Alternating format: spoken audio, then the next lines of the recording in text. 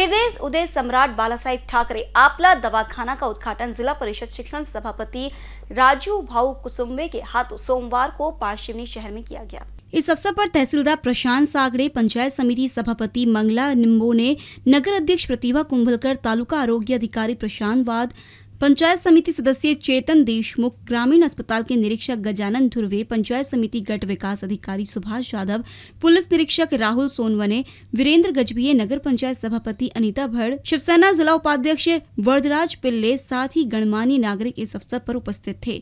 हिंदू सम्राट बाला साहेब ठाकरे अपना दवाखाना में नागरिकों के लिए निःशुल्क सेवा उपलब्ध कराई गई है, जिसमें बिना मूल्य औषध उपचार कैंसिलेशन गर्भवती माता की जाँच, लसीकरण, आँखों की जाँच, वही इस अस्पताल में स्त्री रोग और प्रसूति तज्ञ बाल रोग तज्ञ नेत्र रोग तज्ञ त्वचा रोग तज्ञ मानसोपचार तज्ञ कान, नाक, घसा तज्ञ के द्वारा आने वाले मरीजों की जाँच इस अस्पताल में निशुल्क की जाएगी। बाहेर रुग्णसेवा वेळ दुपारी दोन रात्री दहा।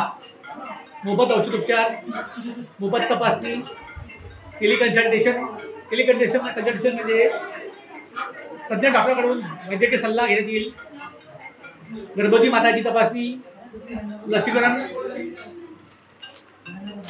तसेच महिन्यातून निश्चित दिवशी नेत्र तपासणी बाह्य यंत्रणेद्वारे रक्त तपासणी मानसिक आरोग्यासाठी समुपदेशन सेवा तर आवश्यकतेनुसार विशेषज्ञ संदर्भ सेवा.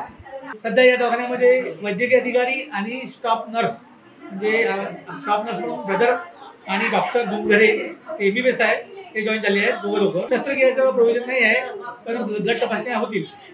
दुपारी दोन ते रात्री दहापर्यंत राहील. नमस्कार. आज एक जय महाराष्ट्र. मी डॉक्टर विकास मोतीराम जुंधरे पाचणी इथे माझी नियुक्ती झाली आहे.